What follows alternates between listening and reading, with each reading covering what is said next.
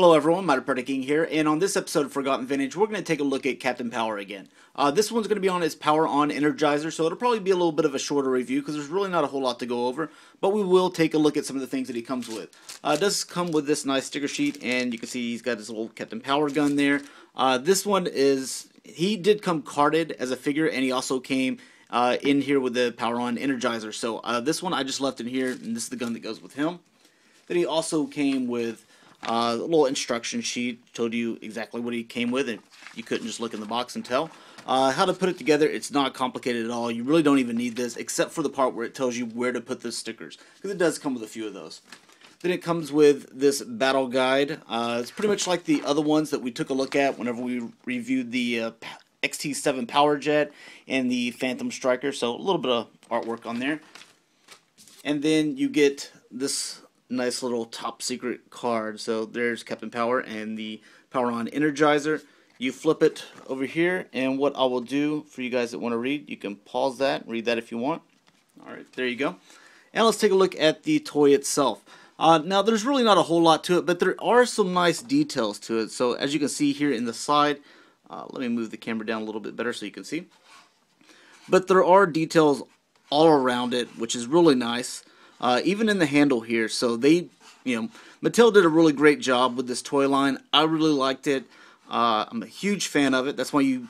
This is my third video on it.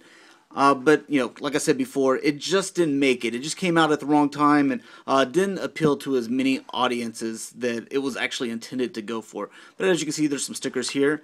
Um, they're all there. There's a couple stickers here. Uh, there's like a nice little sticker there. It's kind of like a little uh, I guess command uh, computer. Uh, some stickers over here and on the side. I believe there's one over here as well. And that's pretty much it. Now, let's take Captain Power off here for a second. And you have this one here. Now, the, the gimmick with this thing, if you see Captain Power, he's got a little hole in there. If you, uh, you can kind of see it through there.